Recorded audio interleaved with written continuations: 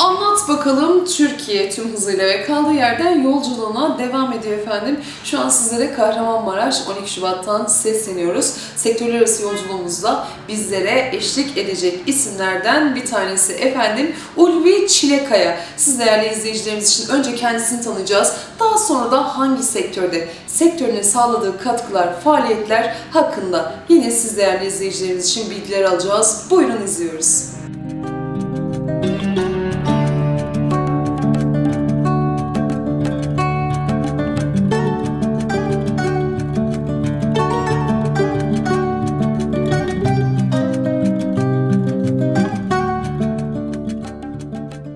Ulvi Bey, öncelikle programımıza hoş geldiniz Hoş diyoruz. Bizlere zaman ayırdığınız için de çok teşekkür ediyoruz efendim. Teşekkür ederim. Siz de hoş geldiniz memleketimize, şehrimize.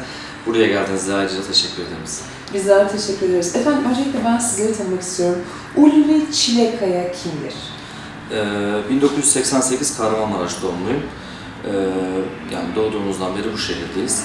Ee, üniversiteyi bitirdikten sonra benim asıl mesleğim muhasebeciyim ben.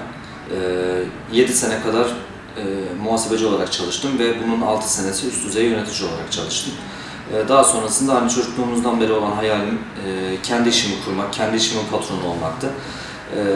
İki seneden, e, ortalama iki seneden beri de kendi işimi yapıyorum. Şimdi biraz sektörümüze yakından ışık tutmak istiyoruz. Ee, mesleğiniz ısıtma ve soğutma. Yani hem yaz hem kış. Aslında mevsim, iklimlendirme yapıyorsunuz bir nebze.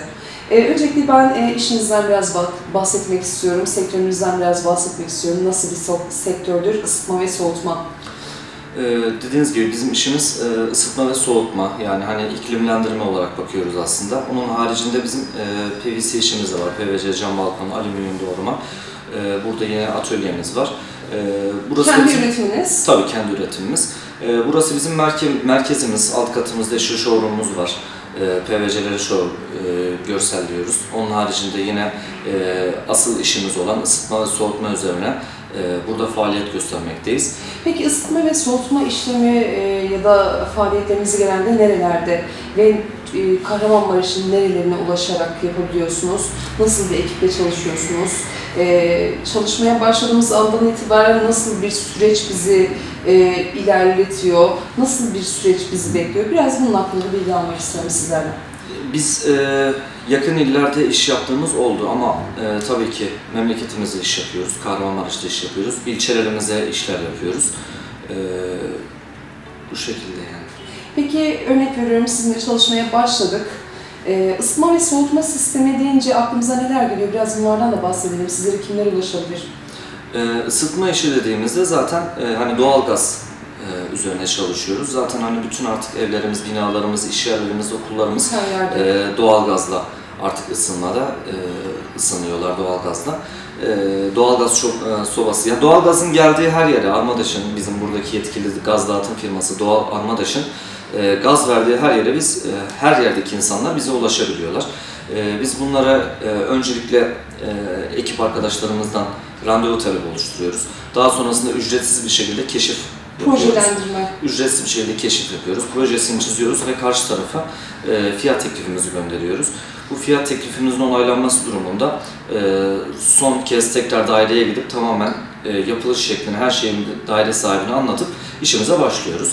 E, tahmini olarak bir gün, iki gün içerisinde normal tek dairelerde teslimatımız oluyor. İki tane taşeron firmamız Ayrıca e, 4 tane de 4 kişi de bünyemizde çalışanımız var. Toplamda bir 13-14 kişilik bir çalışma ekibimiz var. Uzman kadro yine. Evet, uzun, kadromuzdan biz memnunuz. Bizim memnun olmamızın haricinde bu zamana kadar çalıştığımız yerler, çalıştığımız insanlar, hizmet ettiğimiz kişiler çok memnun oldular. Biz de bundan dolayı memnunuz zaten.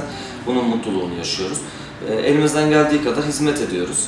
E, Hizmetlerimizin karşında olumlu görmek bizi daha da kamçılıyor, daha da mutlu oluyoruz. Biz de bu referanslar doğrultusunda zaten sizleri ziyaret ettik. Öncelikle sektörünüze verdiğiniz hizmetlerden ve e, katkılardan dolayı ben sizlere teşekkür ediyorum. Ben size teşekkür ediyorum. Son olarak şu an bizleri izleyen Kahramanmaraş'a ve Anlat Bakalım Türkiye izleyicilerine buradan neler söylemek istersiniz?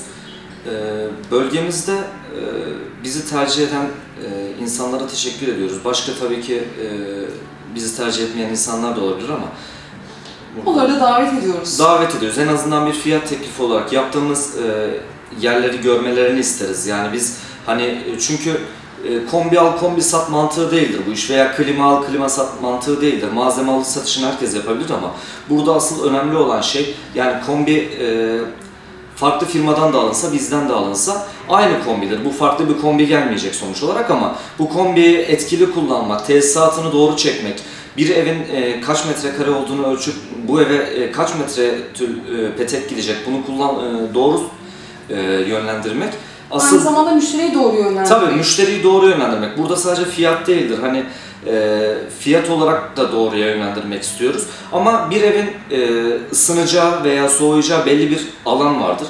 Bunu doğru seçersek e, kombiyi de daha mantıklı bir şekilde almış oluyoruz. Daha hesaplıya gelmiş oluyor ve bunun haricinde bütçe olarak da insanlar aylık ödediği miktarlarda daha da e, mantıklı, daha da e, uygun ödüyorlar. Tasarruf etmiş Ta- tasarruf aslında diyor Evet, bize. aynen öyle.